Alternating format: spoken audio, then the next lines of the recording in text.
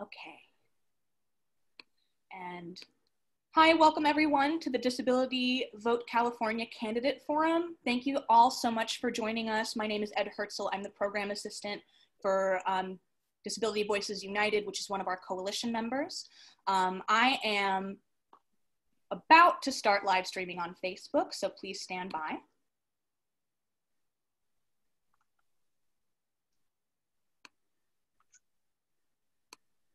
Actually, there's Emma. Uh-huh.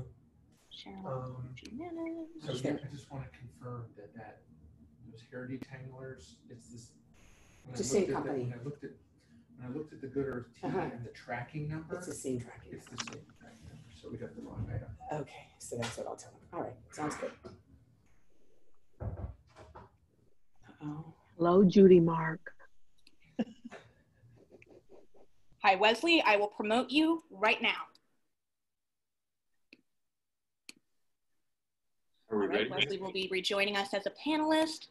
Uh, the Facebook live streaming process is taking a little longer than usual, so I would encourage you, Steve, to go ahead and get started in case the internet uh, throws a hissy fit. Very good. Yeah. Thank, thank you very much, Ed. And, uh, and hello and welcome to all of our viewers. My name is Steve Miller. I'm uh, a proud uh, member of this statewide collaboration, Disability Vote California. Uh, there are more than 36 member organizations, and we're all working together on a statewide basis to promote the ability of uh, people to exercise their, their rights in a democracy to get out and vote, exercise their will. Um, we have a number of different initiatives going on. So I encourage everybody to go to the website. Just go to disabilityvoteca.org and you'll see an enormous amount of information and just about every tool that you might need or someone that you, uh, that you know might need in order to get registered, to find out where they can vote, and to get, to get the access that we need so that everybody can participate uh, in, this, in this coming election. What we're about right now is beginning a series of conversations with candidates because we know that while it's very important that people are able to get out and exercise their vote, what's equally important is that people have a good idea of what they're voting for and who they're voting for. And quite often, it's difficult to find discussions of the issues that may be most important to people um, who have any connection at all with the disability community. Those critical kitchen table issues that we have don't necessarily make it into the newspapers and, and regular television coverage. So uh, we've reached out to candidates that are running for countywide and statewide and congressional offices and invited them to have conversations with our community, an exchange of ideas where we can learn how they understand our, uh, our interests and our priorities, and we can learn from them how they would represent us if we decide to exercise our vote to send them to office. Um, our committee, the Candidate Engagement Committee, made uh, invitations to a number of local, state, and uh, federal races.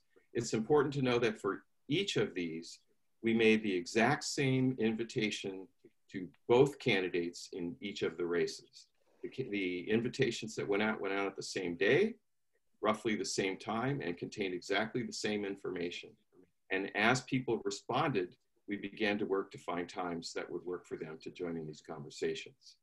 Uh, today, we have a, a, wonderful opportunity to meet with one of the two candidates running for the second supervisorial district for the Board of Supervisors of Los Angeles County. And um, with that said, I'm going to turn this over to several members, constituents actually, uh, in that second district to begin a conversation with Senate, State Senator Holly Mitchell, who is running for office. So thank you all very much for joining us. And with that, I'd like to turn this over to Emma Ehrenmark. Hello, everyone. Um, my name is Emma Ehrenmark. I am a student living in the second district of Los Angeles County. I am a sibling of an incredible young man with autism. My brother has changed who I am and the way I see the world. He constantly reminds me to not take life so seriously, to find joy in the little things, and to lead with love. Mm. He and so many others with disabilities bring gifts to our world. Four million people in California identify as having a disability, but those people know millions more who love them and want them to achieve their greatest potential. I am here today on behalf of family members and siblings who fight for disability policies that will change the lives of people with disabilities for the better. I am ecstatic to be here today to talk with Senator Holly Mitchell about what she can do to realize this goal and improve the lives of people with disabilities around Los Angeles County. So my first question today is, could you share any personal or public life experiences that help prepare you to understand and represent the interests of people with disabilities? Emma, thank you so much for the invitation uh, and your opening remarks um, and your willingness to share how your brothers changed your life is um, really so important. So thank you for sharing that. And I think my experience uh, as an elected official, I was first elected to the Assembly in 2010. Uh, I served on budget subcommittees the entire time up until the point I was appointed chair of Senate Budget Committee. And I, and I chaired the Health and Human Services Subcommittee, where I met amazing family members like yourself. And you are right. Family members are the most fierce, most helpful to me as a policymaker advocates because they put a real face, a real life kind of perspective to the challenges, particularly we were facing back then when I was first elected, where we were still in a recession and many of the services your family members um, are entitled to and need to, to live independently and thrive were being cut. And it was in those moments when parents met with me privately that I heard parents talk about their deep personal fears about their aging children with developmental disabilities and their fears about what would happen to them when their parents were no longer alive to be their fierce advocate. Um, my tours of the uh, DD centers that we were scheduled to close uh, are hours and hours and hours, uh, year after year of conversation about what healthy, appropriate, independent living and independent services look like and should be like in terms of meeting the spectrum of need. Um, uh, I've, I've been um, like you with your experience with your brother.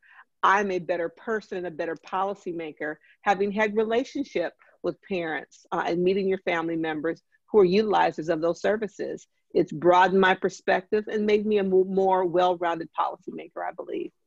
I think that's what I'd say. Um, and my second question is, um, it can sometimes be difficult to see how the actions of individual legislators in Sacramento or Washington make a difference in the day to day lives of people here in the second district. How are things different for county supervisors? How do you see the cap capability of a county supervisor to have a real impact in the daily lives of county residents with disabilities?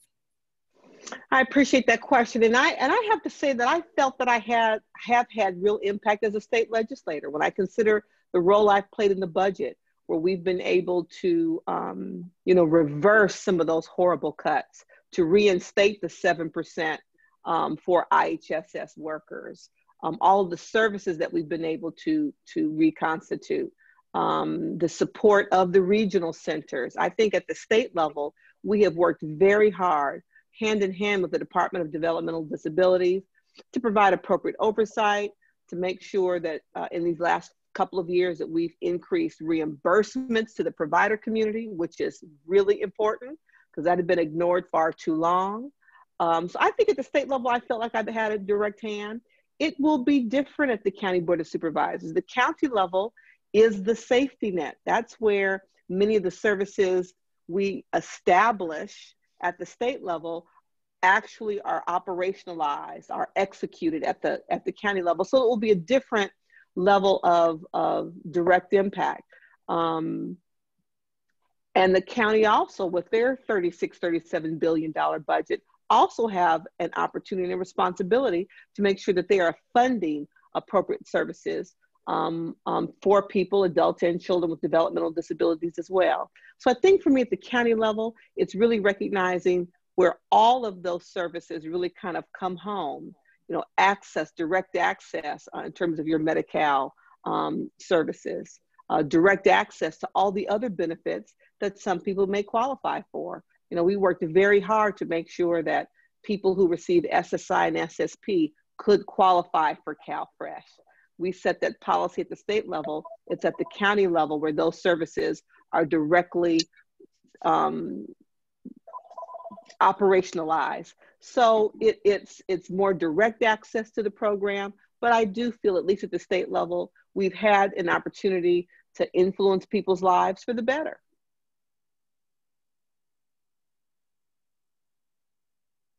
Thank you. Ernie, do you have a question for Senator Mitchell? I do, and uh, this is in regards to health care. Uh-huh. Thank you, Senator Mitchell. My name is Ernestine Frazier, and I live in Ladera Heights. And I had the privilege of talking to one of your staff last year, Alex Hernandez, and I definitely want to thank you for that opportunity also. Great, great. And I'm participating in this talk on behalf of my son, who is disabled, and of course, for all the people throughout Los Angeles County who have similar challenges or simply love someone who does. I have a question about healthcare. It comes from a young lady who could not be a part of the talk herself today. I think the situation is similar to many others so I hope you can speak to it. Okay. And this is her background with the question. I have to deal with quite a few serious health challenges on an ongoing basis. It's just a part of my life that I'm used to. And so I'm not really talking about me personally, but how my challenges are like so many other people too. Because of my medical issues, I have to be seen and treated by a couple of specialists on a regular basis. Several years ago, there was a change in the Medi-Cal system. The hospital and doctors I had been using who knew me and I trusted them were no longer available. To me, this was a really horrible thing to deal with for two years, I couldn't find specialists that would see me on a regular basis. So I had to continuously go to the emergency room to get the medical attention that I need to live. I can't tell you how stressful and scary this is for someone who has serious medical conditions. Thankfully, I have been able to straighten things out for myself but I know that there are thousands of people who have the same kinds of problems. Many of them still have a really hard time finding chosen and preferred doctors and specialists who will treat them and give them the health care that they need. So the question, what can be done to make it easier for people with serious medical conditions to get the medically necessary health care that they deserve? And what can you do to help increase the number of primary care and specialty doctors so people don't have to wait months and make long trips to find the care that they need? Uh, on behalf of that person, thank you, Ms. Frazier, um, for setting that up and teeing that up and giving us the context. And she's so right. She's unfortunately not unique. That is really kind of some of the structural barriers that many people have experienced with Medi-Cal. And I have to say, you know, before I first ran for office and before I was the CEO of Crystal Stairs, I was a special interest advocate for the Western Center on Law and Poverty and worked on expanding the Medi-Cal program and making it easier to apply, making sure as many benefits were included in it as possible. And Medi-Cal is one of the best health care products one can have in terms of what it will cover. It really is. The legislature has worked very hard to maintain that. And during the recession, before I got to the assembly, uh, when the state was broke, quite frankly, you know, there were lots of cuts to the Medi-Cal program. They reduced the provider reimbursement rate. And in the last seven to eight years, we have worked in collaboration with hospitals and the health plans and the clinics and the doctors and nurses and the specialists to increase the reimbursement rate. It really is low. And I know um, managing the Medi-Cal program, if you are a run a small clinic or you're a, a doctor in private practice, it's onerous. And so we've worked very hard to try to increase the Medi-Cal reimbursement rate through the managed care occupancy tax, the MCO tax, through Prop 56 that some of you may have voted for. So there's more money in the public healthcare system so we can reimburse these providers and the specialists at a high enough rate that they can be Medi-Cal providers. Uh, you know, I get it from both ends. We hear it from the doctors um, about, you know, I it, it costs me more to be a Medi-Cal provider than I get reimbursed, and that's not fair. And so we have worked really hard to increase that reimbursement rate so we will have enough providers in the system to provide the high quality care that I believe Medi-Cal can and does perform. The other thing that she may have experienced, you know, there was a, you know, we've transitioned Medi-Cal from fee for service to a managed care plan um, for cost savings and for measurable quality outcomes. And there were certain populations that were carved out of the, the managed care transition for many years seniors and people with developmental disabilities, just so you could maintain your relationship with your long-standing health provider if they were not going to transition themselves from fee to service to managed care. And in, in the last few years, the State Department of Healthcare Services has, you know, said, okay, it's time to move from fee for service into managed care. And so there was a point in time when seniors and the DD community was really like, wait, you mean I can't continue to go to my doctor and my specialist that I've had these long term relationships with? And that was a really bumpy road. I get it. But I think that we've managed our way through that. And there are all kind of nonprofit organizations, uh, many of whom are in your coalition, who stepped up and were health navigators to help people navigate the kind of administrative burden of trying to pick a new healthcare provider or physician, or making sure your old physician then transitioned into managed care. On the county side, you know, the county health department, public health department are some of the largest health departments in the country. And at the county level, it is a awesome responsibility with huge health facilities. Uh, and so I'm looking forward, if I have the pleasure of being elected to the Board of Supervisors, to take my 10 years of experience at the state level, working with Medi-Cal and all these unique kind of populations to the county level to make sure I can provide that same kind of commitment and direction and leadership at the county health service delivery system. You know, the county relies heavily on Medi-Cal um, to help fund its healthcare services. And so making sure that the county um, residents who rely on the county health system have access to high quality healthcare providers and specialists is very important to me. So that's the experience that I hope to bring from the state to the county to make access to healthcare services at the county much better. Continuing to work to make sure we pay providers and have a system that benefits everyone. Thank you, Senator Holly. Thank you very much, Ms. Frazier. It's a pleasure meeting you.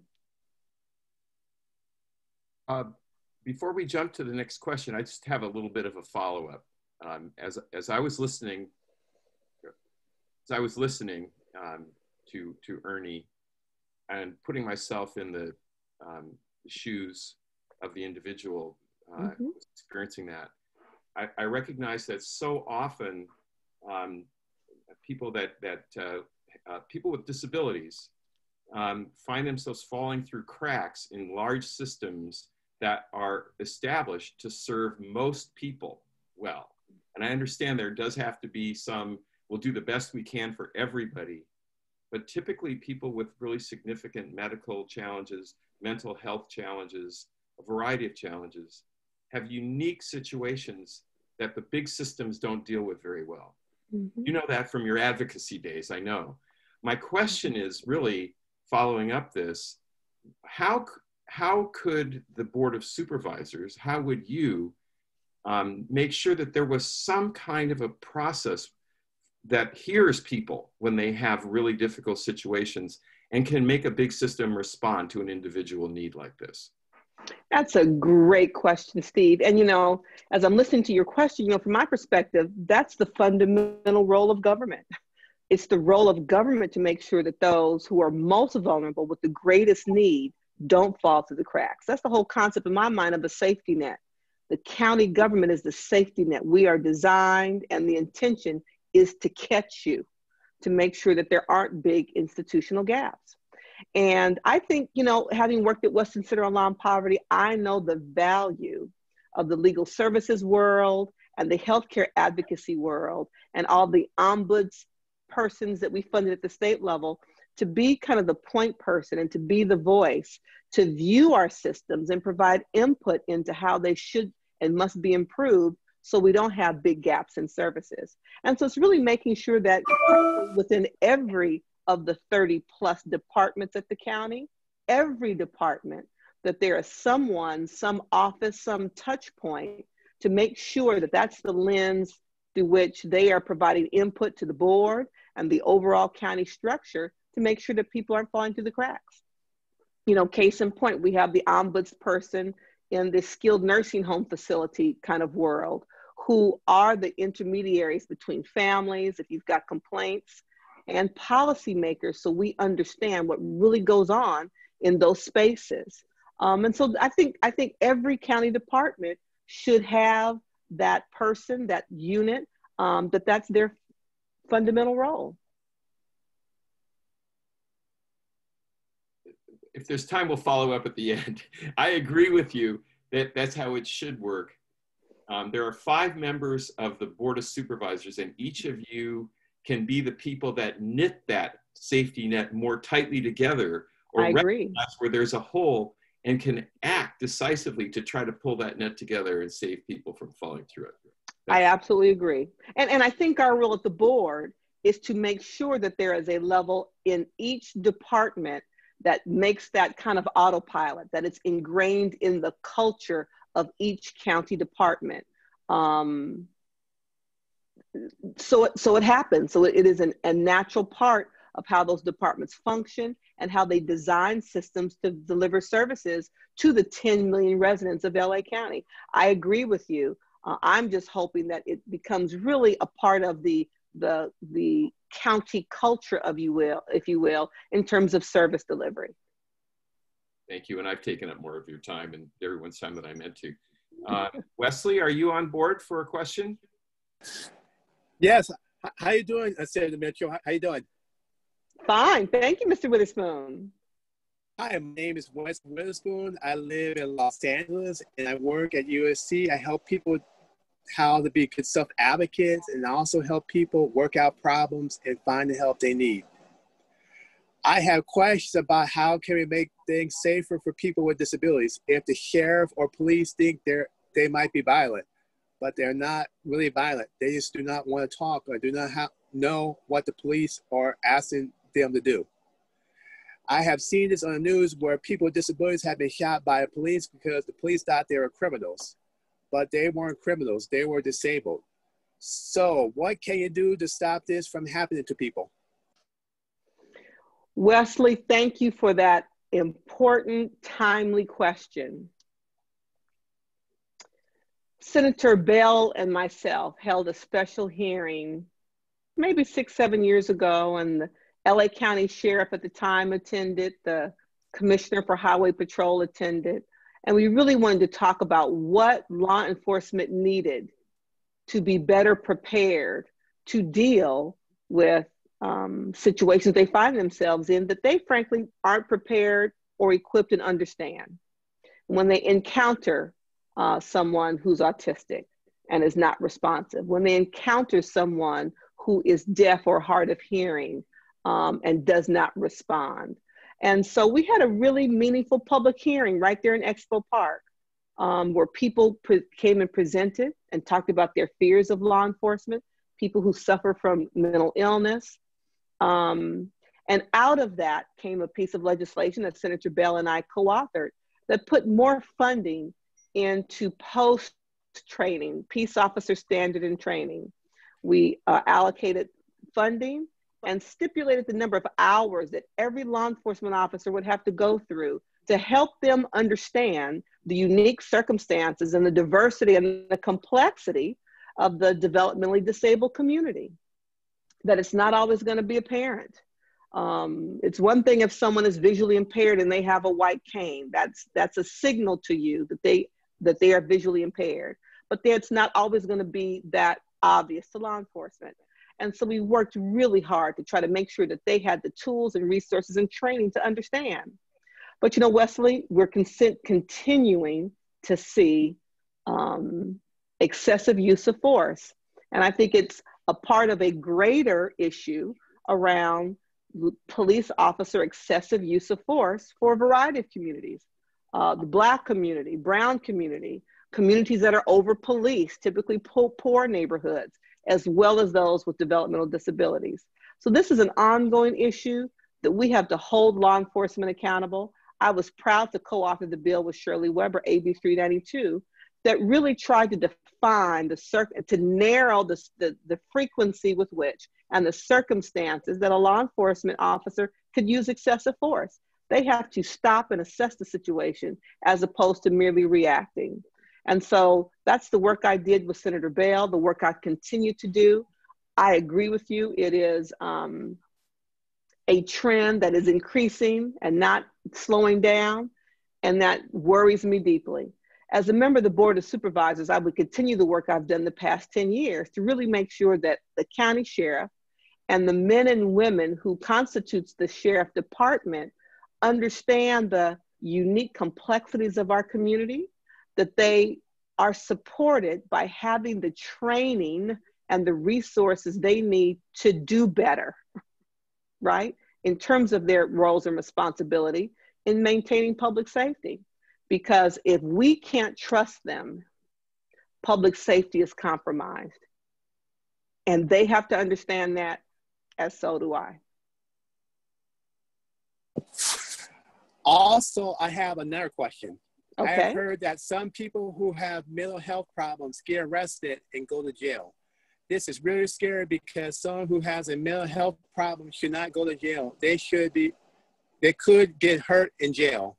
They should get hurt, help and treatment instead of going to jail. So, what can you do to help people with mental health problems and other problems get help instead of going to jail?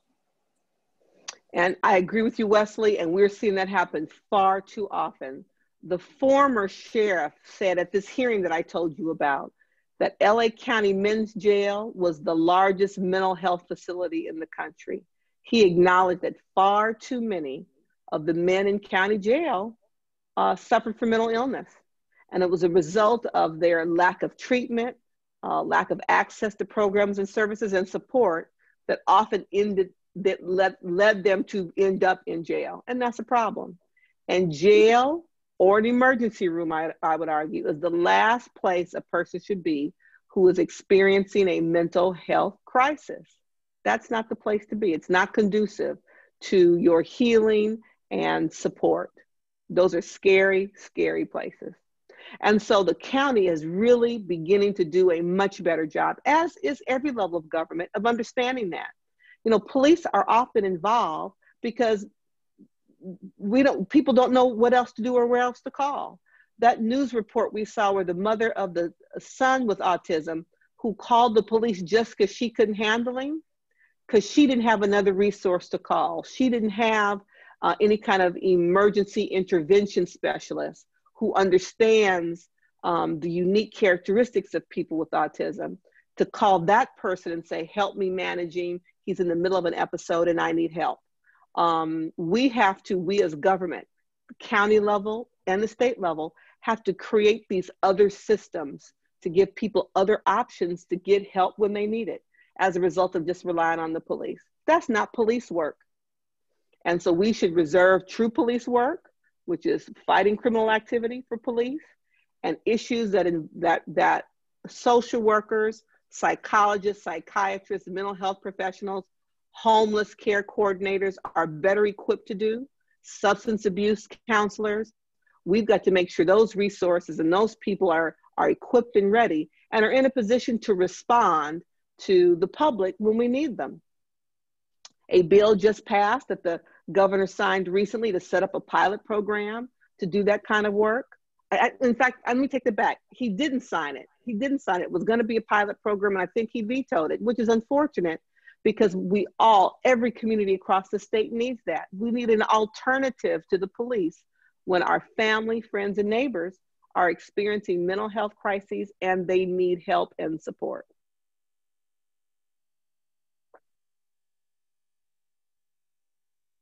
I have a question about transportation. Mm-hmm. The availability of accessible public transportation affords people with disabilities the rights and potential to fully participate in the community. Mm-hmm. We face the challenge that these possibilities do not exist for everyone who is entitled to them. Accessible transportation providers are unable to keep up with rider requests due to limited funding. At the same time, fixed bus routes typically run too infrequently to enable people to count on them for work or for critical appointments. If you are elected, how will you work with our community to understand the critical importance of public transportation and what will you do to ensure its availability where and when needed? Great question. And you know, the LA County Board of Supervisors, each member uh, has an appointee to the Metro Board and serves on the Metro Board. They kind of rotate in and out. And, you know, Metro and the expansion of the train system in LA County is really going to be liberating for so many communities. Um, and this is the community that also should be empowered by um, our, our, newfound uh, commitment and commitment to fund public transportation. You know, LA, we, we are behind the times. We are behind most modern civilization when it comes to public, true public transportation that people can rely on confidently to get to their doctor's appointments, to get to work, get to school. And so Metro is building out. Um, and I think that is the prime opportunity to make sure that in, in every design element, in every expansion element, in the discussions around routes, and the discussion around fares, and the discussion around policing on the trains, that this perspective must be uh, included. You know, if it's a position on the Metro board to provide direct uh, governance decisions, um, those are the kinds of things I think that the board can lead on, um, making sure that as we expand and improve L, the, the LA region's public transit, that we don't leave the developmentally disabled community behind. It's too important. Senator, Holly Mitchell, the housing costs all over Los Angeles continues to rise far beyond the reach of anyone living on a low income. For many adults with disabilities who live on SSI or on very low wages, finding housing is simply impossible. Section 8 certificates are almost unobtainable, so Los Angeles County has identified thousands of people with disabilities among their homeless population. Mm-hmm. Due to a lack of affordable housing, a majority of adults with developmental disabilities continue to live with their aging parents. So, my question if you're elected to represent us, how will you work to ease this housing crisis for people with disabilities and what is your position with respect to increasing funding for Section 8 rent subsidies? Ms. Frazier, you've hit the nail right on the head. You know, we are 500,000 housing units short for the entire county for every population that's in need. And so when you consider vulnerable populations, low income, people with developmental disabilities, their need is even intensified. And so we have to build. We have to, we have to relieve the pressure point in terms of not having enough housing for everybody. I fully support increasing um, Section 8 vouchers. You know, that's a federal program. Uh, but what I did most significantly in this last year was to make sure that property owners weren't um, discriminating against people based on being a Section 8 voucher holder. You've seen the ads, two bedroom, one bath, no Section 8. And so even many people who had vouchers couldn't get housing because they couldn't find a landlord who would rent to them. Uh, the Mitchell bill made that illegal. And so we will no longer see no Section 8 accepted. Every landlord has to at least allow the Section 8 applicant to apply And then the landlord gets to decide who they think is the best fit for their property. That was a major, major issue uh, that impacted all voucher holders, veterans who have vouchers, as well as Section 8 voucher holders. Making sure that we are building appropriate housing and affordable housing is really critical. 93% of all new housing construction in the city of LA over the last 10 years, 93% was market rate. And so every new housing development, I believe, has to have a set aside at least 20% for affordable. And we have to really be clear about what we mean by affordable. Affordable should be defined based on what the residents of that community can afford. I worked very hard as budget chair since I've been in the legislature to also increase the SSI SSP monthly rate. You know, we can't expect people to be able to live independently um, when we are paying them at such a low rate. You know, the county of LA hasn't adjusted general relief in 30 years. And so we have to look at increasing SSI SSP and creating COLA so we can be matched to inflation. So people have enough more money in their pocket upon which to live. We have to build more housing and be creative and create set asides for our vulnerable populations, including those living with developmental disabilities. I think we also need to really fund in a meaningful way independent living, which includes job coaches and all the training that goes along with living independent successfully. We've taken money out of those programs too. And I think that's equally as important for people to not only afford housing, but to be able to stay in housing um, and, and thrive. Those are the things um, I would do as a member of the Board of Supervisors that I think are very important. And it's working with multiple levels of government to make all that happen. Section 8 vouchers, that value is set at the federal level. The county needs to do a better job of making sure we are held getting going through that list so people don't have to wait 10, 20 years to actually get their Section 8 voucher when they already qualify and make sure that we have landlords that will accept it so the whole system really is supportive to the people who are entitled to housing, which is everybody, in my opinion. Thank you. Thank you. So I've been um, I've been getting a number of, of emails uh, since people learned that we were going to be having these sessions. And so there are some questions that, that I think maybe were sent to me um, that didn't get into the general filter. So if you don't mind, I'll ask one, but any other panelists, if something else occurs to you, um, Senator Mitchell, if something occurs to you, just feel uh, fine about ignoring my question and going on uh, with whatever um, seems most important. Um, but I've gotten a number of of, emails regarding in-home support services, mm-hmm. uh, and from a, a, variety of different perspectives. Hmm. And I guess the first part of it ties in with the whole COVID public health emergency we're, we're having now. Mm-hmm. Uh, IHSS workers are vitally essential workers. Yes, they are. And the agencies, in some cases, there are agencies that that co-employ with uh, the county to mm-hmm. hire IHSS workers and, and deploy them to meet the needs of people. Um, in all of these cases, we know that we're not doing a good job of taking care of essential workers, direct support workers. We're not paying them well enough. We don't, we're, we're overstressing them. When, and I know that this is, a lot of the money comes from the state and the feds, mm-hmm. but as a member if you become a member of the county board of supervisors, what what can you do to make this system work better for the people that are depending on it? I appreciate that question, and, and what I did and have done always is was to fight the cuts um, to IHSS and to to make good on the promise that once um, the the general fund was in a healthier state, that we reversed all those cuts and put their hours back. Um, I know that there was a bill that I supported this year to provide sick time and unemployment insurance um, to IHSS workers. And so it really is valuing um, the profession and recognizing that they are essential. one thing we were able to do in the interim as an emergency in the middle of COVID was to really include them in the category of essential workers. So they qualified for childcare a subsidy.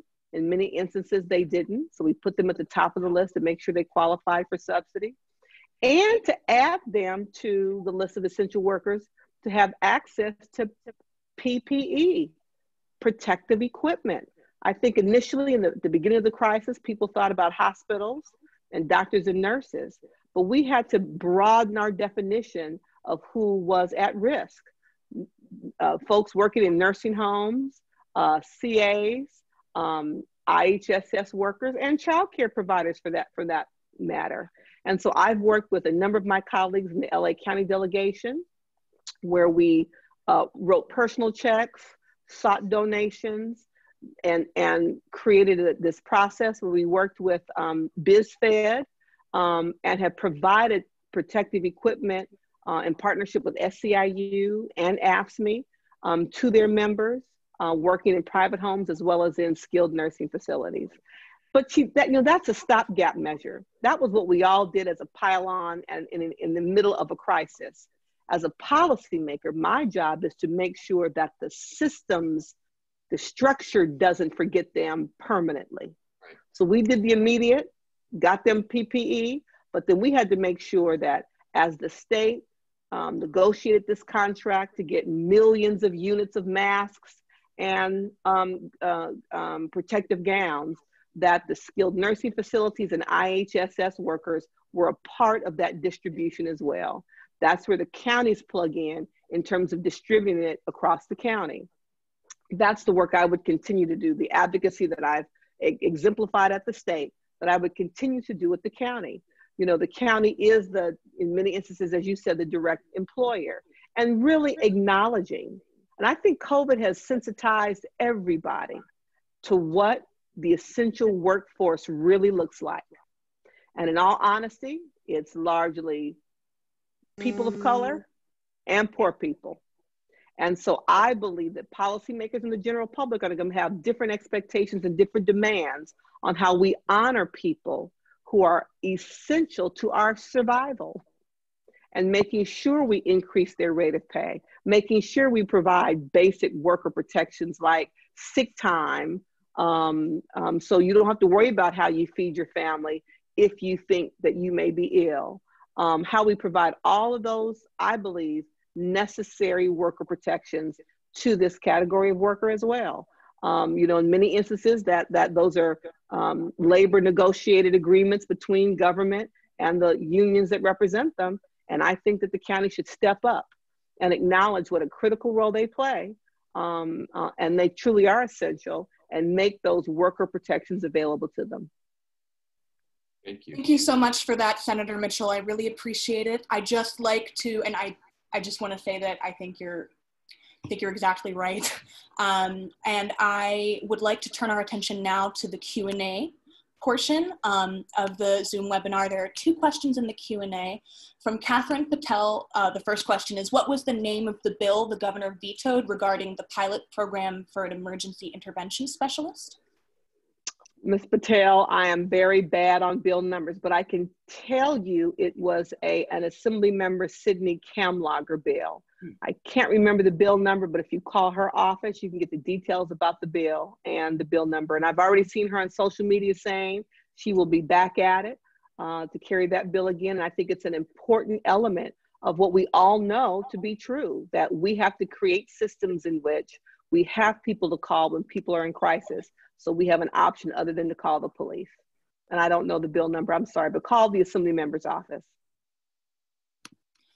Thank you very much. And for the second question from Mark Anthony Campoy, I would like to ask a question. My name is Mark Anthony Campoy, and I am an instructor from the Exceptional Children's Foundation at Hyde and Centennial.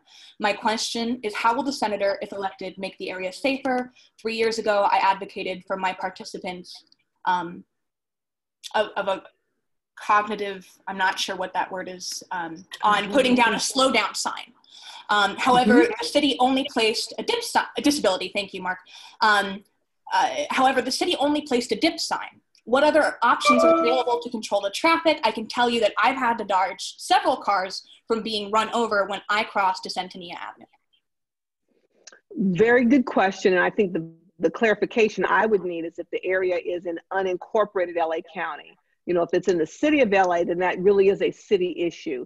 But if it's an unincorporated LA County, then the County Board of Supervisors is your local level of government. So we would absolutely have the opportunity to step in to make sure that you have all of the signage that you need to be safe. And there's a whole process that you have to go through. I've seen it in my own neighborhood where neighborhoods have requested um, um, speed bumps or humps or dips. You know, they all have varying degrees of height. Um, there's no an, an, entire analysis that's done to determine um, what's best for that area. And so at the county level, I would absolutely be an advocate to make sure that every community is safe for pedestrians, particularly areas that surround schools or um, special or organizations that are providing um, um, services to people uh, with special needs. And so that would be the responsibility of the Board of Supervisors if that were in an unincorporated area of Los Angeles County. Thank you very much, Senator Mitchell. Um, at this time, I would like to open the Spanish line for any questions. We do have uh, Spanish interpretation going on on the back line, and Lorna Silva, our interpreter, uh, I, I would like to ask Lorna if she would ask the Spanish line if there are any questions for Senator Mitchell. Um, and in the meantime, while she is asking that, I would like to advertise to all of you that we will be having a second, uh, a second candidate forum let me pull up the information here so that I do not give anybody the, incorrect, the incorrect information. We will be having a conversation with candidate Lanira Murphy at 3 p.m. Uh, and I really encourage all of you to, to, to come and join us for that as well. Um, and on Tuesday, we will also be having a candidate forum with Assembly Member uh, Nazarian. Uh, there are no questions on the Spanish line, so I would like to turn it back to our panelists at this point. Thank you very much, Senator Mitchell. Thank you. Emma, do you have any uh, additional questions? I don't, but I just wanted to thank Senator Holly Mitchell for being here, and I learned so much. Thank you so much. And I just want to say very fast, um, we Leslie and I are on the outreach committee on with Disability Vote California, and we have put a couple links in the chat on registering to vote and filling out the census, which is very important. Thank you for that, Emma. We've just received another question in the Q&A that I would like to pose to Senator Mitchell uh, from Jessica Baker. Senator Mitchell, I'm a case manager at a work training facility in Inglewood for adults with disabilities, and our goal is community employment for, for participants. How could you help increase awareness for job placements within the community for people with disabilities? Thank you, Jessica. Jessica, great question. And I think I mentioned early about, you know, job coaches, recognizing that there are places and people like you who are out there um, trying to provide this um, um, assistance. You know, outreach is so important. What is most painful to me for my 10 years as being a policymaker, we may have worked hard, hard, hard to create a new policy or fund some new amazing thing, and my constituents just don't know about it. And so I think it's important for us to work collaboratively with all of the groups represented in Disability Votes California to make sure that we are using perhaps technology like this to get the word out. And I appreciate that outreach costs money. We may need to run ads or radio commercials. I think that we need to think creatively and come together to figure out what it takes to do that. And sometimes I have colleagues in the legislature who, who think spending money on public relations or outreach is a waste. And I disagree. If people don't know about the services that are available to them, and quite frankly, most of my constituents who are, live in vulnerable communities sometimes don't have access to the information. It is worth the investment of public funds to get the word out. And I think that with technology and, and given what we've all learned as a result of COVID, that we can gather and share information like today's webinar, we have to think creatively about how we get that information out. But I agree, and sometimes government falls short that we don't fund outreach. Um, and I think that needs to change. The, the programs are only as good as they are utilized by the people who are entitled to have access to those services. And so I would do all I could to push that information out. I have a, a follow-up question about employment. Um, it turns out that the largest single employer in Los Angeles County is The county. the county. Around 90,000 people are employed by the county. Mhm. And then when you take into account all of the dollars that the county spends with vendors, private enterprise through services and goods Mhm. produced for the, for the county, Mhm. uh, it seems that the county itself could become one of the major employers of people with a wide range of disabilities. Uh, uh, disabled vets, um, people with developmental disabilities, people with orthopedic disabilities. We know that the capabilities far exceed any kind of disability. And the biggest problem we have in changing the unemployment rate is finding employers who are willing to take uh, very reasonable and modest steps to make accommodations work. You mentioned job coaches. Um, I have, uh, I served on the LA County Board of Supervisors appointed commission on, on disabilities for many years. And we Mhm. tried very hard and we worked with wonderful people in HR and wonderful department heads. But it seems that the um, policies that exist make it Hmm. so difficult to create the kinds of openings to be to be Hmm. creative and make something happen again if if if you're elected and you take this as something that you could do something about how, how could you act to cut through some of the difficulties that bureaucracies have to be a responsive uh, employer for people with disabilities You know, Steve, I, I appreciate you sharing that history and, and what you found your barrier to be because leadership starts at the top. And I have seen it. I've exercised that, that power. I have used my bully pulpit to affect very similar kind of changes. You know, there was a, a, a point in time in our society and culture where people coming out of prison and jail had hard time getting jobs. Uh, I worked for the legislature doing welfare reform and really trying to push private industry to give, you know, former welfare recipients a shot. Um, and it requires a culture shift. It requires the person at the top leadership saying, make it so, exactly period. Make it so. And, you know, I'm always just surprised when I look across sectors at so many examples of when one person can make the difference in creating that culture shift. I appreciate that there are HR policies and and policies in place to protect workers and the county doesn't want to be responsible if someone gets injured or hurt on the job. I get all that. But it's about culture shift and making sure that we are practicing what we preach as policymakers, passing policies that we hold private industry accountable to, that we should step up to the plate as well. And so for me, that would be an easy thing to do. You know, starting with my own staff if I'm lucky enough to be elected, and making sure that my own staff reflects the diversity uh, um, of, talent across LA County. Uh, so sometimes you have to set an example, and sometimes you have to be comfortable in your professional power to exert it and simply make it so. Thank you. Panelists, again, I don't mean to uh, take up too much airtime. Are there any other panelists that, that want to follow up with any questions? We have a few more minutes with the Senator. Okay, then it's back to me. Let me say this.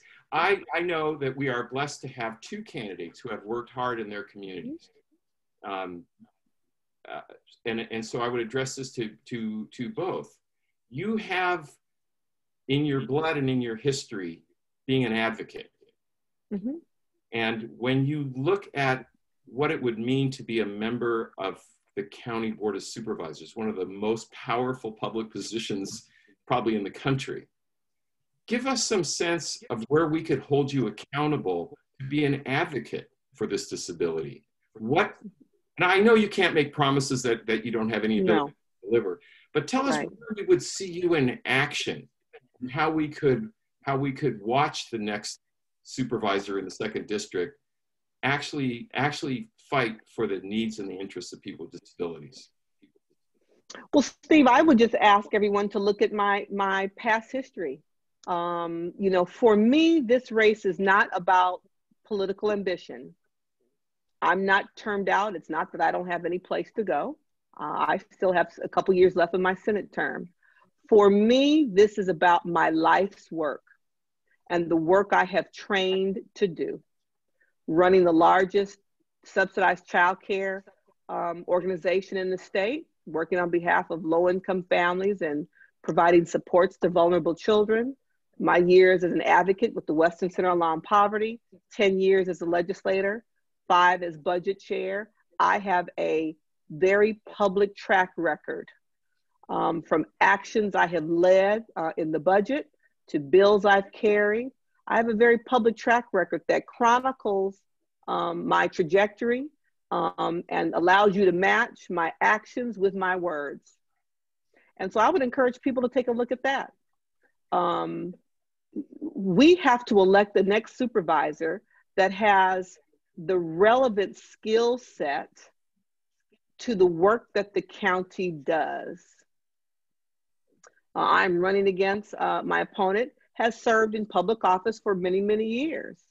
The question before us is who is prepared, who has the experience to do the work of the county? And I believe the work of the county has begun to shift. So I tip my hat to the current members of the Board of Supervisors that it is shifting more towards understanding the role we play to provide help and hope to people in crisis instead of merely prosecuting and jailing. And that's my lane, Mr. Miller. That's the work I've done my entire professional career and what attracts me to the power and opportunity in this position, particularly in the second district, recognizing that while it is a district with amazing communities and rich assets. It is also a community that is at the center of many of the tough, toughest challenges facing Los Angeles County around housing affordability, around food deserts, around access to health services and mental health services, around over policing and a disproportionate experience, negative experience with law enforcement. Those are all issues that all of us who live in the second district experience every waking day. That's why I'm running and why I'm hoping I can count on the residents of the second district to give me the opportunity to serve them as their next supervisor. Thank you so much, Senator. Oh, I'm, so, I'm sorry to cut you off. I was just going to say, with regard to accountability, I appreciate it. And it's important that we all take responsibility for that. You know, these are two way relationships. I am a public servant. And so accountability is, you know, you too have a responsibility and obligation to hold me accountable by being an active participant in your governance, by showing up to hearings, by writing and communicating with me to express your perspective. Uh, I have represented an amazing district, both in the Assembly and the Senate, of engaged residents who I hear from, who use every medium to communicate to me, to support me when they support what I've done and to tell me when, from their perspective, I could have done better or different. And so I opened myself up and asked the public to see my record, know my record. Um, I'm on social media, I'm on Facebook, giving people opportunity to see my work in real time. I am not a behind the scenes, closed door, back door dealing policymaker. That's not who I've ever been or who I aspire to ever be. That's a marvelous call to action for us. We need to be part of the conversation. We need to be at the table. We need to watch you. We need to watch elected officials. And we need to tell you that we're here and there are lots of us and we vote and we care. Thank, Thank you. you. Go ahead. Thank I'm you so much. Uh, we are we should be ending right about now. Senator Mitchell, I want to ask if you have time to just answer just one more question in the chat. Yes. Of so, course. Thank you very much. Uh, Anna Marie says, Senator Mitchell, how can we get more funding for our programs to provide better services for our participants? There could be so much more we could do in providing services as a job coach, but there is not room in the budget for it. I made the decision to run for the Assembly in 2008 as the CEO of Crystal Stairs while sitting in the budget subcommittee hearings where they were proposing to cut $1 billion out of childcare. And I sat there in that moment in real time and got mad enough to run because I knew that I had a perspective, a life experience, a community that I worked with every day that I didn't feel was being reflected in those deliberations. There was a missing element. So I ran for office. And so, as Mr. Miller says, he has seen me and he knows that I consider myself an activist policymaker. I don't refer to myself as a politician. I had someone in the community my first year said, Don't let them call you that. That's not what you are. You're a policymaker. And I thought about it and I said, That's the truth. And I'm an activist policymaker. And so people have to engage. And the, the reason I was interested in the budget, and from that moment in time when I decided to run, two years later I'm elected, guess who was chairing that very same budget subcommittee? and stayed as chair of that committee until I became chair of the overall budget because I knew bringing resources to vulnerable communities, to my constituents, was the most effective way I could be a leader. So that's why I chair budget. That's why that's the lane I find myself in because resources are what we need to be competitive and to thrive. We could write the best bill ever written in the world, and if it doesn't have resources to, to make it implementable or put teeth in it, it's just nice words on paper. And so it's joining, you know, being a part of all of the numerous stakeholder groups that spend a lot of time in Sacramento, spend a lot of time with the, body, the Board of Supervisors, influencing these decisions around how we allocate funds. People talk about special interests and stakeholder groups. They're not all bad. That's you. Right. And so you have a responsibility to come to me, to partner with us, to help us understand. I have a, re- a responsibility to, to share with you, as I did for many years when I said, there is no money. This is where we are. How do we make the cuts least harmful for those few years where we still had to make cuts? And then I could come to you and say, we've got resources. How do we now reinvest in these vulnerable critical services?